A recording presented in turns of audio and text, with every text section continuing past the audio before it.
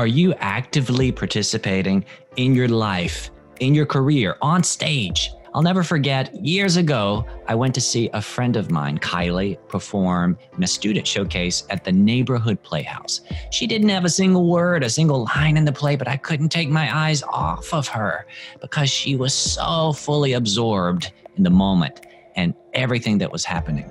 When you are engaged, the audience will be as well. Would you like to hear more? Let's get to it. As a child, I realized I had a gift. I see people without their doubts or fears as the fully expanded future versions of themselves. Our future selves whisper messages.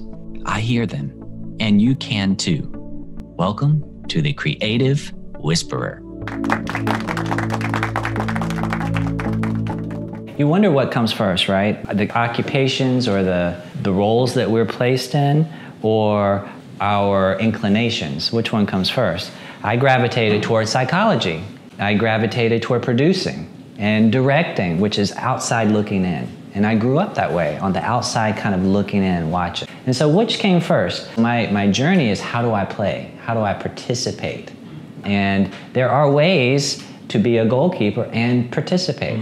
Just like you could we could do a scene up here, and you could be an actor who's not your turn to speak, so you just kind of tune out until it's your turn to speak, or you could be right there with moving your body, feeling it, feeling where the ball is, you know, and how the other players are feeling. So there is a way to be actively a part of the team, a part of the moment.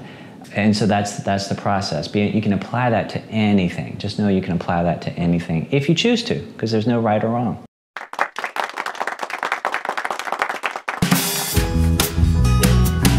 For more information about our online and in person workshops, or if you'd like to have me come to speak to your group, contact me at the link below. See you soon.